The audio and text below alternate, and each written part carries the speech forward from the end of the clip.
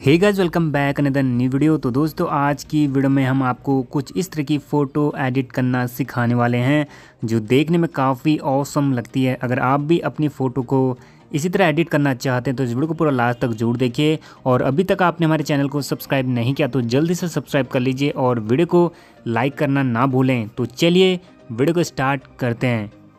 दोस्तों, सबसे पहले आपको प्रीसेट को डाउनलोड कर लेना है। इसका लिंक आपको वीडियो के डिस्क्रिप्शन बॉक्स में मिल जाएगा, वहाँ से आप डायरेक्टली डाउनलोड कर सकते हैं। उसके बाद आपको लाइटूम की ऐप को ओपन कर लेना है। उसके बाद नीचे आपको एक प्लस का आइकन दिख रहा है। आपको यहाँ पर क्लिक करके फ़ोटो और प्रीसेट को ऐड कर लेना है। ऐड करने के बाद आपको यहाँ पे ऑल फ़ोटोज़ पर क्लिक करना है। और उसके बाद जो हमारा प्रीसेट है, ये वाला आप देख सकते हैं, डार्क ब्लू टोन दिख रहा है आपको इसमें। उसके बाद आपको यहाँ पर अपनी फ़ोटो को ले लेना है। फ़ोटो को लेने के बाद सबसे पहले मैं कर लेता हूँ फ़ोटो पे क्लिक।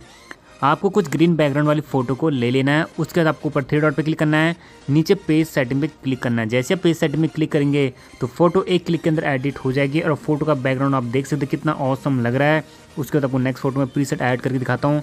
नीचे पेज सेटिंग पे क्लिक किया तो आप देख सकते हैं। ये फ़ोटो भी काफ़ी औसम लग रही है। फिर नेक्स्ट फ़ोटो में प्रीसेट को ऐड करते हैं। ऊपर थ्री डॉट पर क्लिक करना है। नीचे पेज सेटिंग पे क्लिक करना है। जैसे ही आप सभी फ़ोटो में पेज सेटिंग करेंगे तो आपकी फ़ोटो एक क्लिक के अंदर एडिट हो जाएगी और फ़ोटो काफ़ी औसम लग रही है। इस तरह से आप इस प्रीसेट को यूज़ करके अपनी फ़ोटो को औसम तरीके से एडिट कर सकते हैं। अब इस फ़ोटो को सेव करने के ऊपर शेयर के बटन में क्लिक करना है, नीचे सेव टू डिवाइस करेंगे तो फ़ोटो आपकी गैलरी में सेव हो जाएगी। इस प्रीसेट का लिंक आपको वीडियो के डिस्क्रिप्शन बॉक्स में दे दिया, वहाँ से डायरेक्टली डाउनलोड कर लीजिए और चैनल पर पहली बार वीडियो देख रहे हो तो चैनल को सब्सक्राइब कर लीजिए और वीडियो को ज़्यादा से शेयर कर दीजिए।